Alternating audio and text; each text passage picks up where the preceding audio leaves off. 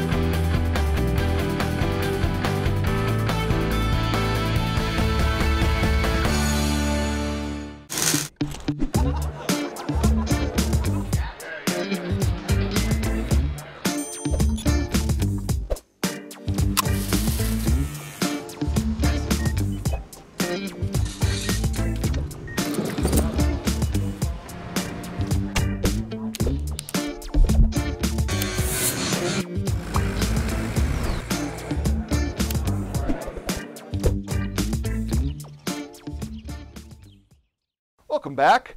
Out of 11 petition drives proposed ahead of the November general election, the Nebraska Secretary of State's office says signatures were turned in for only four of the potential ballot questions by Thursday's deadline. Deputy Secretary of State Wayne Bena confirms to KNEB News that in addition to petitions gradually raising the minimum wage and the two medical cannabis initiatives supported by Nebraskans for medical marijuana, Signatures were also turned in by backers of a proposed constitutional amendment that would require voter ID. The first three of those questions are statutory, meaning each would have to have about 87,000 valid signatures to make the November ballot, but the voter ID question needs just under 124,000 for certification. The Secretary of State's office is now going over petitions for all four questions to determine if they've met the threshold to be considered by voters in the general election. When Nebraska Republicans fired their longtime party chairman at a contentious state convention this past weekend, highlighting divisions inside the party between establishment party members and those who supported former President Donald Trump. According to the Nebraska Examiner, most other state party leaders resigned after convention delegates voted Saturday to remove Chairman Dan Welch. Republicans were sharply divided during the spring's gubernatorial primary battle between two conservative candidates, the eventual winner, Jim Pillen, and businessman Charles Herbster, who was endorsed by Trump. Welch, who led the party for the past eight years, said he thought the disputes were related to the primary. And Nebraska Republican State Senator Mike Flood will officially join the U.S. House on Tuesday when he's sworn in to fill the seat of disgraced former U.S. Representative Jeff Fortenberry. Flood, a former Speaker of the Nebraska legislature, will take his oath of office at the U.S. Capitol building. Flood defeated Democrat Patty Pansing Brooks in a special election to represent the state's first congressional district, which includes Lincoln and dozens of smaller communities. Fortenberry, a Republican, resigned back in March shortly after a California jury found him guilty of charges that he lied to federal investigators about illegal campaign donations from a Nigerian billionaire. Flood will hold the seat until at least January, where he'll face Pansing Brooks again in November. Well, still to come, Chris Cottrell in with the latest from the world of sports. KNEB.TV News will be back right after this. For the streamers, for the gamers, for the long distance video call makers, for the ones who don't want to miss out on the fiber things in life, they have Allo. Allo Fiber Internet keeps you connected with fast, reliable service and 24 7 support, so you can always get the ultimate experience. No hidden fees, no expiration dates, and no contracts. Experience the fiber things in life with Allo's super fast internet. Visit us at allofiber.com slash fiberthings.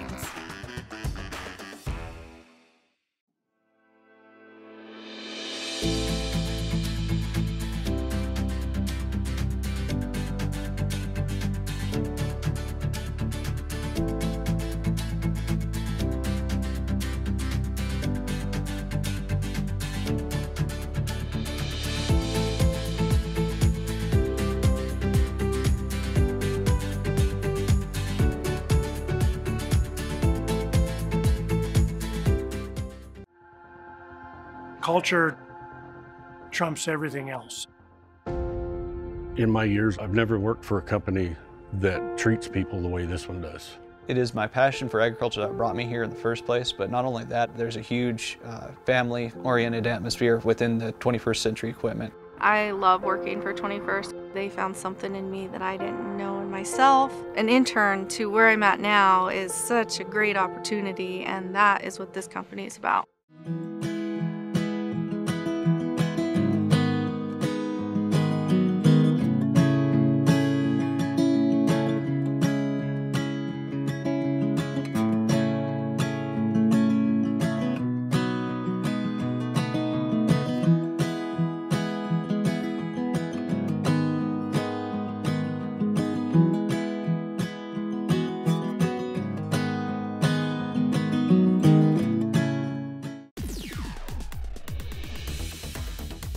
Now, sports from the FNBO Sports Desk. FNBO, the great big small bank.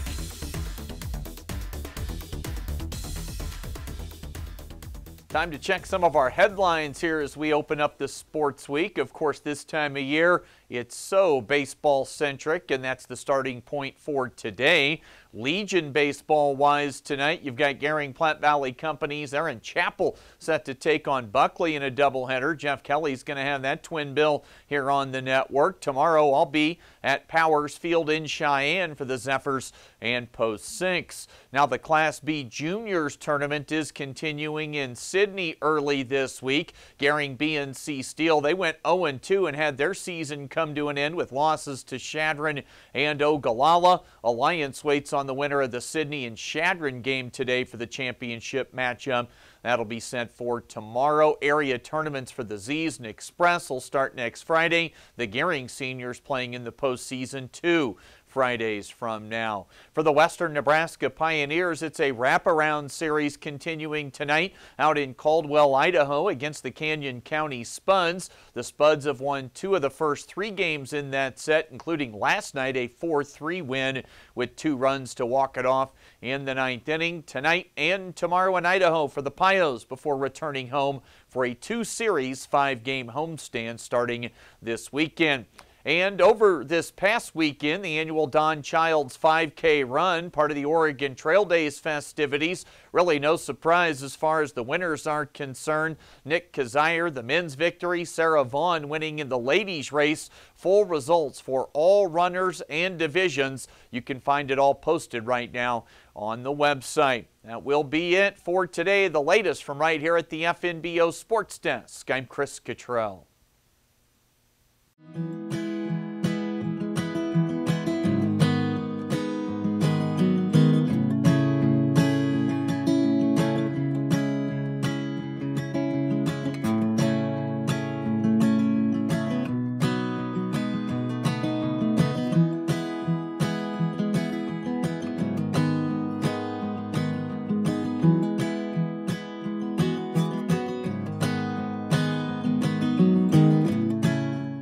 Are you looking for the perfect place to hold a wedding, family reunion, holiday office party, or business meeting? Well, look no further. The Hampton Inn and Suites Hotel and Conference Center is just the place for you. We're a full service banquet facility that can host up to 400 of your guests. Stop in and see our spacious open concept meeting rooms and begin planning your special event or family gathering today. Let us do the work for you so you can enjoy your guests. For personal service, stop by the Hampton Inn and Suites front desk.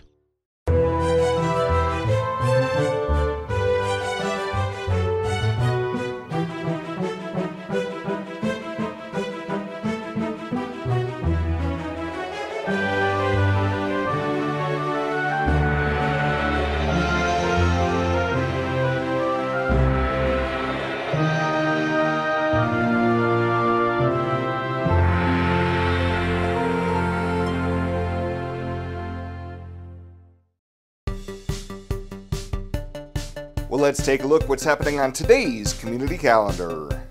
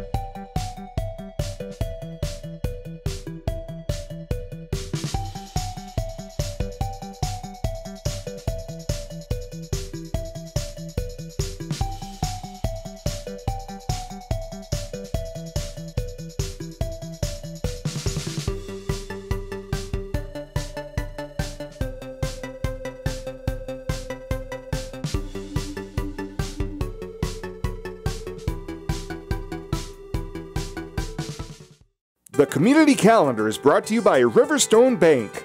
First State Bank is now Riverstone Bank.